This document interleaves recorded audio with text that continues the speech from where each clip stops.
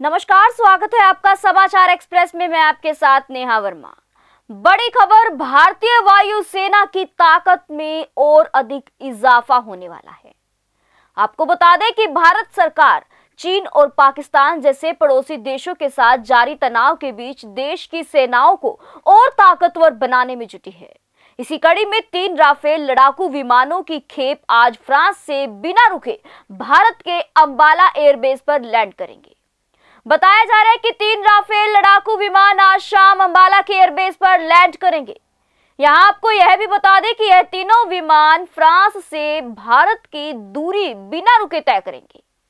इसके लिए संयुक्त अरब अमीरात के आसमान में ही तीनों विमानों में उड़ान के दौरान ही ईंधन भरा जाएगा। बताया तो यह भी जा रहा है कि भारतीय वायुसेना की एक टीम तीन राफेल को अंबाला लाने के लिए पहले ही फ्रांस पहुँच गई थी।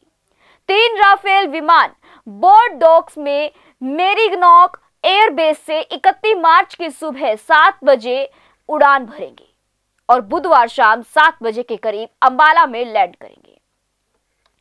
नौ विमानों का अगला जत्था अप्रैल में भारत आएगा। इनमें से पाँच विमानों को उत्तरी बंगाल में हाशीमारा एयरबेस पर तैनात किया जाएगा।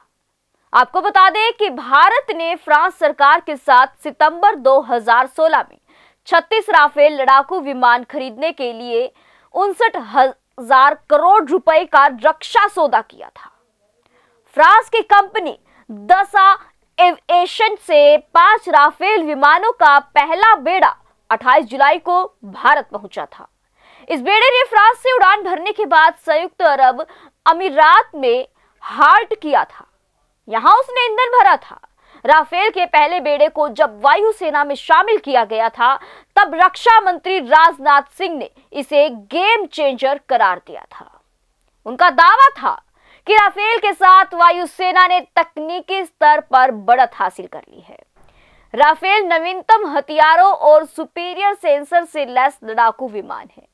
गौरतलब है कि भारतीय वायुसेना के अंबाला स्थित गोल्डन एरो स्क्वाड्रन ने जुलाई 2020 और जनवरी 2021 के बीच 11 राफेल लड़ाकू विमानों को पहले ही वायुसेना में शामिल कर लिया गया है।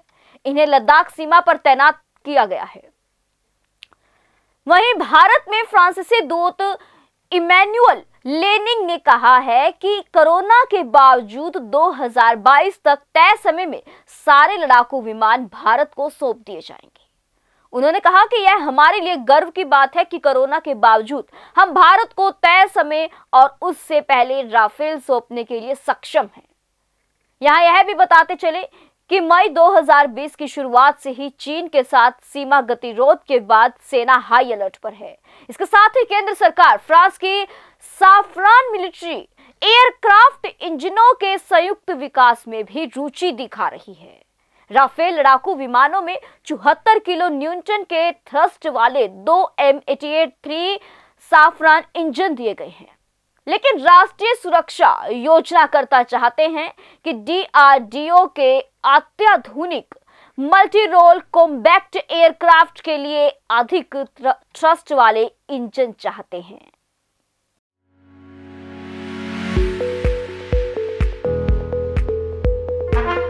ब्रेकिंग न्यूज़, रास बसेरा आपके लिए लेकर आए हैं खास मौका। वो भी हरियाणा सरकार की अफोर्डेबल हाउसिंग योजना के साथ, जिसके तहत आपको मिलेगी छह लाख रुपए तक की सुविधाओं के रूप में सब्सिडी जैसे कि free parking EDC IDC free club charges free और मेंटेनेंस फ्री और कोई हिडन चार्जेस भी नहीं। तो आज ही बिना देर किए अपने सपनों का घर बुक